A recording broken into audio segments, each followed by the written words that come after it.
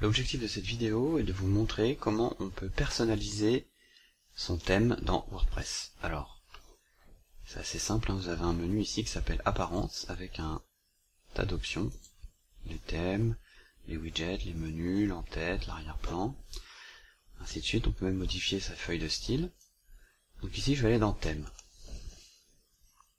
Par défaut, s'installe le thème de l'année. Donc là, moi, c'est 2016 hein, qui vient de sortir, le thème de l'année 2016. Et il vous met les deux dernières années, donc 2015 et 2016.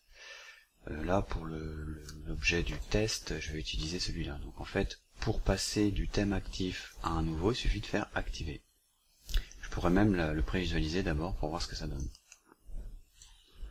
Si les thèmes par défaut ne vous suffisent pas, vous pouvez très bien aller dans Ajouter ici, et faire votre, petite recherche pour trouver un thème qui vous plaît. Alors, il vous met des thèmes en avant. Hein. On peut aussi demander les plus populaires, c'est-à-dire ceux qui ont été téléchargés euh, le plus de fois. On peut demander les derniers en date, c'est-à-dire ceux qui ont été créés ou mis à jour le plus récemment. On peut même filtrer sur des fonctionnalités, par exemple euh, quelle couleur je veux, euh, quel agencement, quel arrangement, hein. est-ce que c'est une page fixe, est-ce qu'il y a une colonne, deux colonnes, trois colonnes, euh, est-ce que je veux euh, optimiser l'accessibilité de mon site, en même temps, évidemment, plus vous allez cocher de cases, et moins il restera de thèmes à télécharger.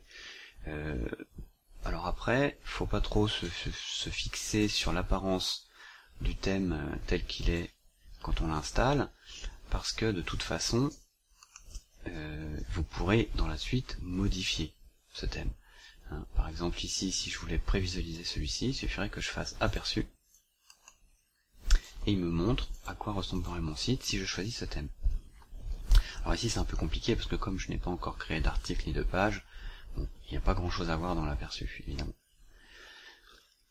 Alors si ça m'intéressait, je pourrais ici l'installer, si je vais quitter. Ce que je vous conseille quand vous allez choisir votre thème, c'est d'en choisir un qui soit personnalisable, c'est-à-dire les couleurs, euh, des choses comme ça, et aussi un qui soit à peu près récent, qui, se mette à jour régulièrement, parce que là ça peut faire des failles de sécurité dans votre site. Si vous avez un vieux thème plus mis à jour, il est quand même conseillé d'en changer. Alors ici donc euh, je reviens sur le thème que j'ai choisi, je peux faire personnaliser pour avoir un certain nombre d'options à régler. Vous voyez ici, hein, par exemple, je peux choisir des couleurs pour mon site. Je peux choisir une image d'en-tête si je veux rajouter une bannière. Je peux choisir l'image d'arrière-plan. Vous voyez par ici, pour l'instant ici c'est un, gris, je pourrais y mettre une image. Je peux paramétrer des menus. Bon, évidemment, il faut d'abord que je les ai créés. Hein. Je peux gérer les widgets. Les widgets, ce sont l'ensemble des petits modules qui s'affichent sur les côtés. Donc là, par exemple, il y a le widget commentaire récent, le widget sur les archives, les catégories, et Meta, c'est pour accéder, se déconnecter du site. Je pourrais passer à une page d'accueil statique. Ça voudrait dire qu'il aurait fallu que je la crée auparavant. C'est-à-dire si je ne veux pas que la connexion au site se fasse par la, la page actualité, je peux lui demander d'atterrir sur une page spécifique que j'aurais paramétrée pour ça. Et puis contenu mis en avant, dans le thème 2014, euh, il y a une grille qui se crée ici en haut avec les derniers articles créés, et qu'on peut paramétrer ici.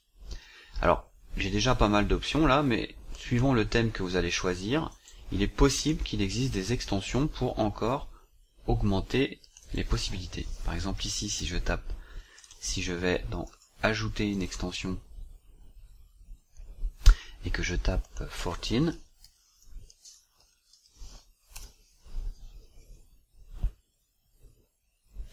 il me trouve deux extensions supplémentaires.